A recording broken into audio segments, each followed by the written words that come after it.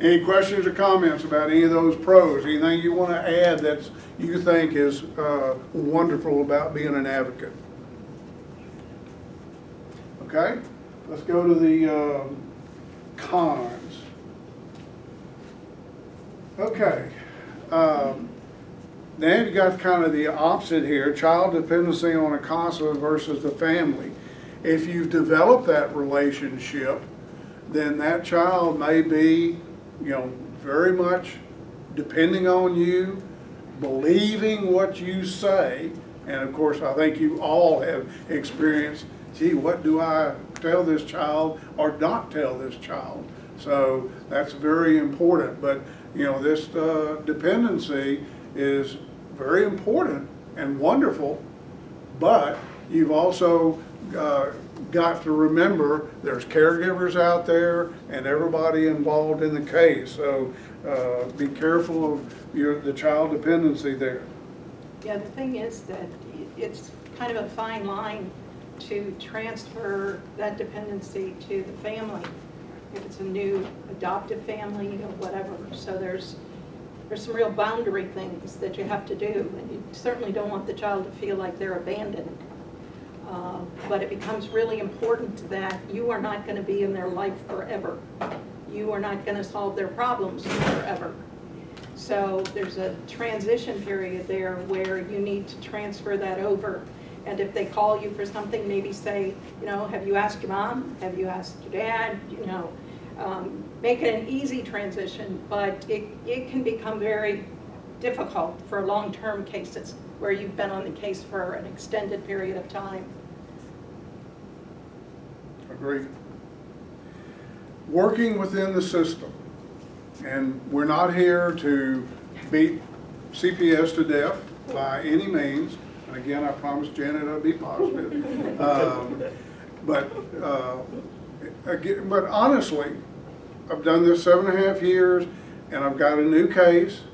And I have the first caseworker with CPS that uh, is, she's just wonderful.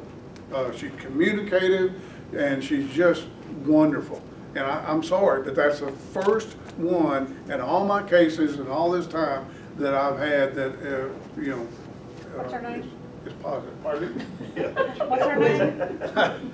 Katie Tackett. Katie. Katie Tackett. Oh, And- Katie. She's awesome. Yeah, anyway, now, but you have to learn how to work within that system. It's not just CPS. Uh, Sharon's laid out the court system very well for you. And I'm telling you, uh, again, I'm pretty brash and I, the first time I got cut off in court, I left with my tail ducked, big time. I was, I was mad and hurt. So you've got to learn how to do that. You've got to learn how to, and we're going to go into some hospitals soon. How do I work around an RTC, a residential treatment center? And that is a little bit different than a therapeutic or psychiatric hospital, et cetera. You've got to know how to do that. Uh, I don't know if any of you go into prison, but you, you got to know how to go into a prison or otherwise you're not going to get in if you do any ministry in there. And it's the same way. So working within the system is extremely important. And you've got to learn that and learn how to get things done so you can be the voice for the child. I have a funny story. I have to interject this story. This is the funniest thing that ever happened to me in my life.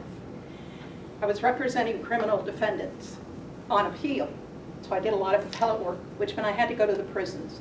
And the prisons were all two, three hours away, okay? So I load up my car one Saturday and I get up to the prison.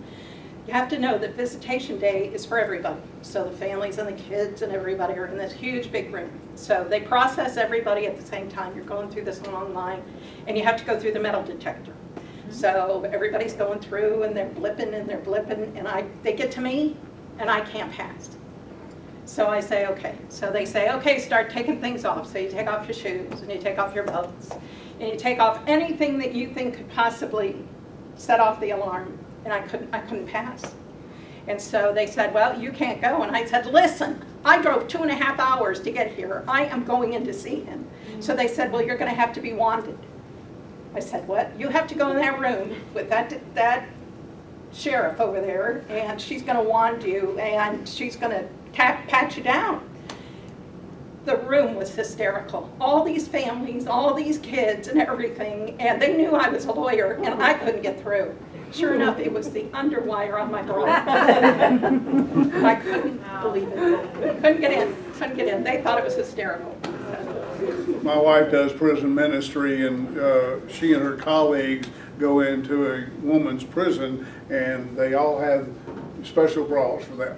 Yes, yes. Well, I never did that again, let me tell you, never.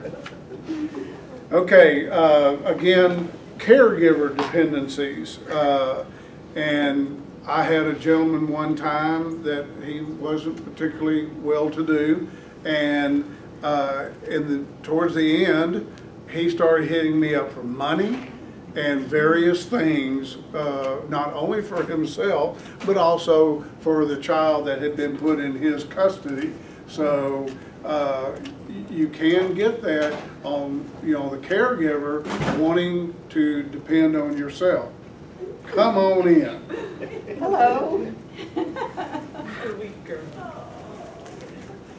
Anyway, so uh, you want to say anything else about that? Yeah, I, I had a similar situation. I had a, a case in Harris County, and it was, uh, it was dastardly. It was dastardly from the get-go. Um, it was a family situation where grandma had taken care of the kids, and then mom had taken care of the kids, and they had all passed away. And the aunt, who was only 28 years old, she had six kids of her own, and she took in seven kids. So we had a, you know, we had a big family situation, and we ended up, we ended up finding um, a new place to live because after the department said they could stay there, we got a new supervisor, we went nose to nose with her, they ended up pulling all of the kids at one time. We ended up spending the night in the department's offices to go to court the next day, and the attorney ad litem got the kids back. Um, But we had to go and we had to find an apartment, we had to get money. It got to the point where she could not go to the social security office. Mom had used the kids' money and then had used their social security numbers for apartments and everything. So we had all those issues. And we ended up hand in hand for two years. She couldn't go to the offices and get anything, but if I showed up with her, it worked. So we um, ended up working and working together, and it was like a year after. We, we still stay in contact. She called me and said, I lost my job, can you give me any money? So there was still some dependency, but she had worked through. Um, The caseworker had messed up the case, and so they had not done the license for her to get the kids for PMC and get money. So when the case ended, she got no money for the kids. So we had to get social security. I mean, it was just a long, drug-out, involved situation. But being side by side with her, she stayed in touch with me and then asked about money, and I said, no, I, I just can't. But I did give her resources so that she could get funding and she could do on her own. But, um, yeah, it, there's a, a boundaries thing. You know, you, you get to the point where you don't want to be the end and be all because they have to be out there on their own functioning. You know, it's like when you raise a kid. You know, at some point you gotta cut the strings, you know, so interesting cases. Associated with that, how many of you have had a caregiver say, I can't get CPS to communicate? Okay? Uh, Now, cautious there, because they want you, if you're communicating with them regularly, they want you to tell them everything that's going on, et cetera. And it becomes a form of dependency, and again, you've got to be very, very careful what you tell them. Uh, as you know, some things you can tell a caregiver, and some things, sometimes you can't. So, and it depends on the type of caregiver also. Uh, So you've got to be very careful because once they find out you're a communicative CASA, they are going to test you. And I've certainly had that happen to me more than once, so. I'll tell you what I did. I have a case right now where every time the caseworker went out there, she would tell them something, and then they would call and ask me what that meant. So I started scheduling my visits at the same time as hers, so that I could go and I could listen to what she told them, and then clarify it right then and there, so there wasn't any confusion. Mm-hmm. So we go to visits together, and I just kind of listen, and then you're not caught off guard, because you can't answer for what you haven't heard. And it puts you in a really precarious situation. So, All right, um, the last bullet, if you disagree with any other professionals, can you work with them effectively again? Goes back to working within the system, okay? And it doesn't matter whether you like that caseworker, that attorney ad litem, uh, it- it really doesn't matter. You got to work with them, and you know that. But, uh, uh, it, it's hard sometimes to deal with these people that are so difficult to work with. They don't communicate, they don't help out, they don't help the family, the caregivers, and that's their job as a caseworker or even an attorney ad litem. I, I was at a children's visit one time uh, down in Conroe, and we're, uh, the attorney and I are there looking through the glass and everything, and she starts talking about Tom, Dick, and Harry, and I said, sorry, that's Jane, Tom, and, you know, Sherry. She didn't even know who the children were, she had the wrong case, so, uh, I mean, it's just, you, you just gotta be real careful, so. All right, those are just some the cons we came up with. Uh, Anybody else uh, run into obstacles or something you want to talk about? any suggestions? Oh, I- it's, I know that, I, well, I know, I don't know, I assume nothing's changed. It's, it's difficult to have time with your, your child alone when you have to stay in the house, you know, with the, with the fosters. And uh, so we started like going out, like you were saying, you couldn't get the kid to connect with you, the abuse and all that.